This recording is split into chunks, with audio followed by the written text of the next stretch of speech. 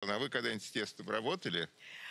А, Вы знаете, да, когда я впервые вышла замуж, я хотела, конечно, своего мужа повкуснее кормить. Так. И я, не имея никакого опыта, потому что росла я довольно тяжелое время, когда был дефицит всяческих продуктов, вот, э, но тем не менее была книга у меня о вкусной и здоровой пище.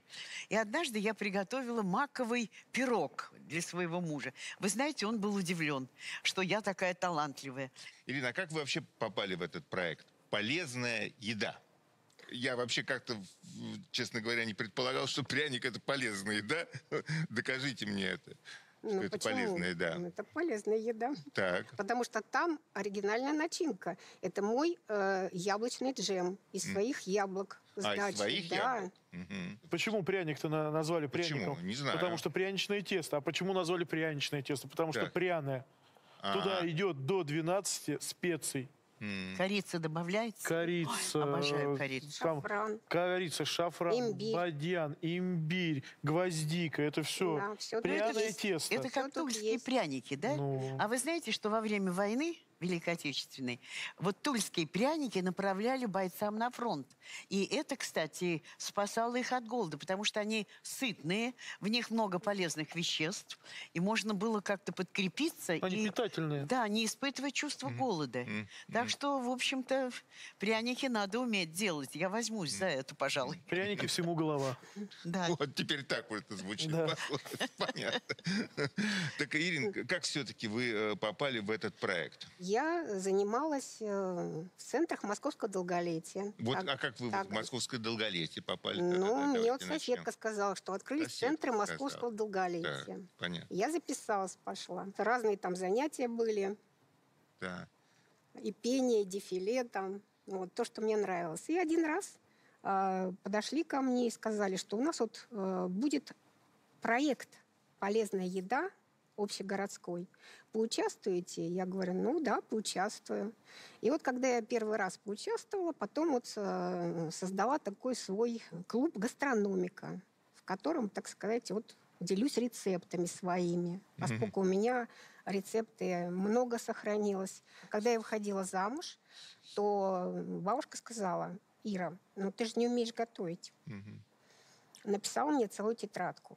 Я забрала. Ну, в общем, с этого как бы и пошло мое вот собирательство вот этих рецептов. Вот вы сказали, что здесь э, вы сами вырастили ингредиенты, да? Для Ну, я- яблок Ну, яблоки, сада? я, да, яблоки, Мгм. яблочный джем. Ну, Но у э- меня сад-огород есть. Есть. И, да. у, и у нас есть э, тоже э, такие же клубы, которые, которых занимаются вот сад, огород, как вырастить цветочки, посадить. А у вас есть сад-огород, Ангелина Михайловна? Да, конечно. У меня Почему тоже конечно? есть дача. Значит, дача у меня с большим участком. И чтобы он не пустовал, я, в- когда наступает уже э, лето, весна, да, я начинаю думать, что же посадить. Ну, я пользуюсь помощью специалистов, профессионалов. Моя подруга Октябрина Ганчикина, она всегда приедет и подскажет, что я делаю не так. И вы можете поверить, что вот есть сорт помидоров, который называется Катя, и на каждом кустике я снимаю по 60 помидоров. Так Что что- же, что же с ними делать? ну что, ели мы, раздавали, э, заготавливали. В общем-то, всегда найдется возможность, как скушать эти вкусы. Я вообще помидоры обожаю. Ангелина Михайловна, у вас, наверное, времени нет, да, для московского долголетия? знаете, Вы же я э, могу сказать, беру на себя смелость, Да. что я дала старт московскому долголетию. Так. Когда меня пригласили на танцы со звездами, мне исполнилось 70 лет, и я решилась. Думаю, а почему нет? Тем более, знаете, я подумала о женщинах, которые в моем возрасте э, сидят у, подъездов на лавочках и не знают, чем занять свою жизнь. Я думаю, надо московским девушкам нежного возраста дать старт. И я танцевала и буги-вуги, и ча-ча-ча, и что я только не танцевала. И когда я э, призналась, что мне вот исполнилось 70 лет, то, вы знаете, зал ахнул, потому что не каждая э, девушка в 70 лет сможет станцевать ча-ча-ча и буги-вуги.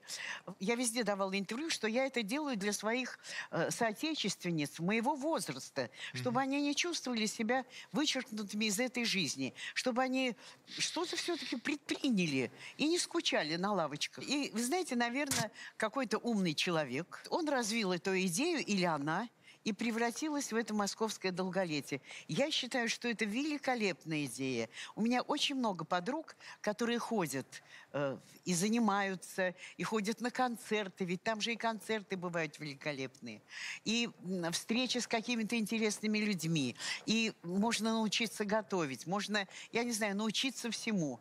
Так что я вот за московское долголетие поднимаю обе руки.